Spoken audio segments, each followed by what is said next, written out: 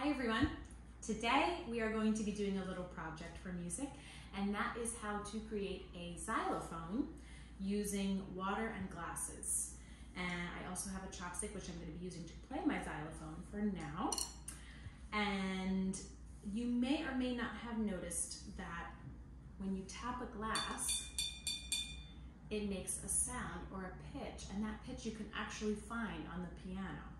Now, each of these different glasses, you can tell I used um, five different glasses in front of me for now, has a different sound when I tap it without water.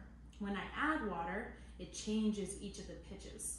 The more water I add to the glass, the lower the pitch. So I can actually tune using water each of these glasses in order to play a scale. So I have in front of me the first five notes of the scale, which are do, re, mi. Now, I decided that I'm going to be in the key of G, which means that my note, do, is going to be G. So we have do, which is G, then re would be A, mi would be B, fa would be C, and sol would be D. Now, I'm sure you're wondering, how did I do that? Now, I started with my first glass to be do, and I tuned this glass to it, like I said, the note G. There are a couple ways you could do this. If you know how to play the note G on the piano, you can play it and then you can tap the glass and add a little bit of water at a time until your glass is playing the same pitch as the note on the piano. You can either do that or you can look, use the links below which we have a separate link for each note. So we have a link for G, which when you click on that link, it'll play the note G for you. And again, you tap the glass and you add a small amount of water at a time until your glass matches the same G pitch. And then you're gonna do the same with A, which is a and the same with B, and C, and D. Now it's a little tricky because you have to work hard to listen really hard and you might need to repeat the video a couple times. Um, but eventually you should have your scale, which is do, or G, A, B, C, D. Those are our five notes that we're going to be using for now. Now that I have my scale, I can just play the scale up and down. I can make my own song. Totally up to you. Now today, I really wanted to play the note Twinkle Twinkle. The Twinkle Twinkle doesn't just use the first five notes of the scale, it also has another note, which is La. So I need one more glass in order to play La. So now I have six glasses.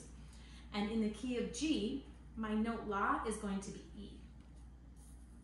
So I'm actually going to show you today um, how I figured out how to play my note La.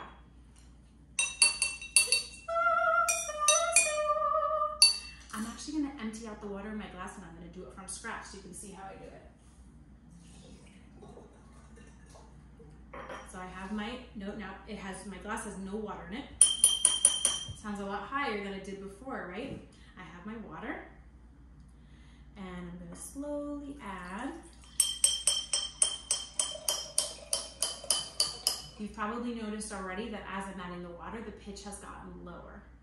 Now I'm going to put on my link for E, which like I said is underneath in the description. You can find the link for E. I'm going to play that and I'm to try and see if I can match my glass to the note E.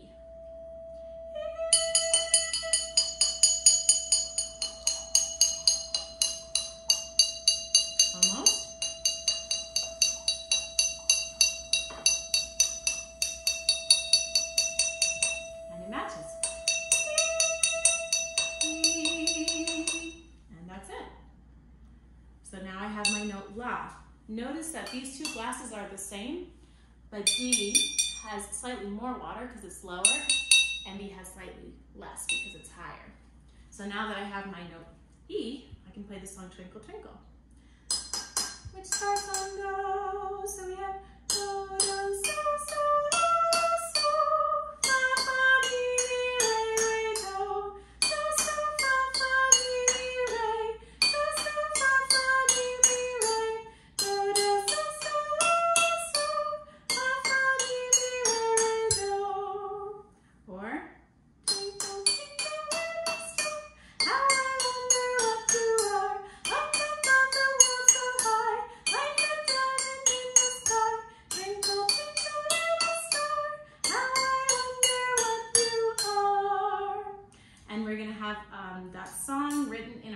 Classroom, so you can practice that as well.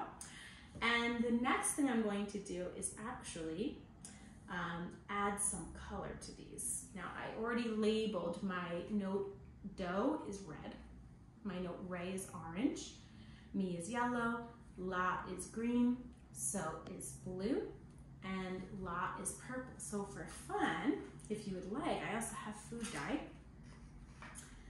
So I'm going to add just a drop of food dye into my glasses so that I can use, um, I can color code each of my notes with the color of the scale. So we have do, which is red, and I'll use my chopstick, mix it around. Ooh, looks so pretty. There's my red, do. And for orange, I'm going to need, of course, red and yellow. So one drop red, one drop of yellow. There's my yellow. I also have green. And I also have blue. Ooh, they're getting so pretty. And I also have la, which is purple. So I have blue and red.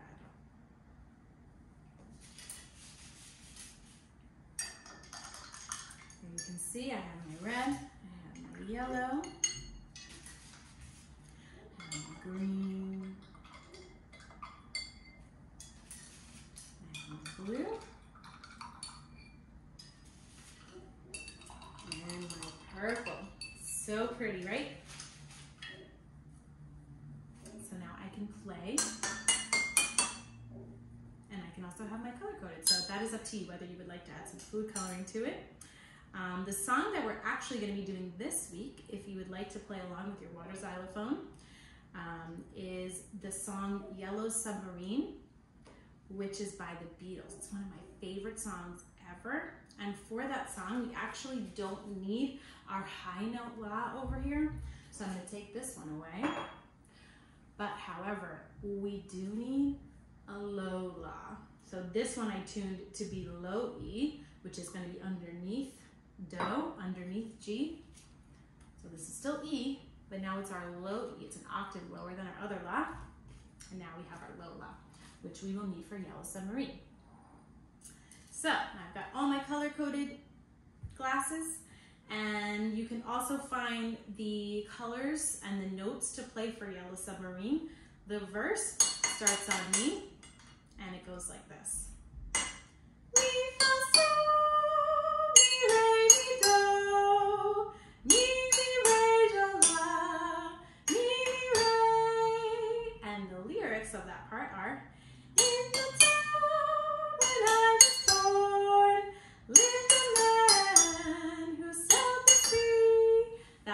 Verse, and that part repeats, and you'll see, like I said, on the Google Classroom.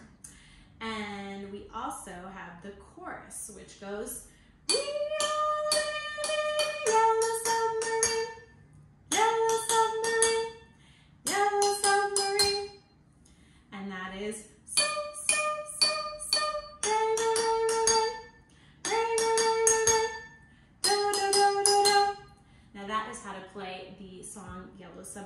Like I said, it is on the Google Classroom. It has the color coded and it also has the notes of the scale. So I hope you enjoyed. I hope you had fun watching this video. I hope you try it.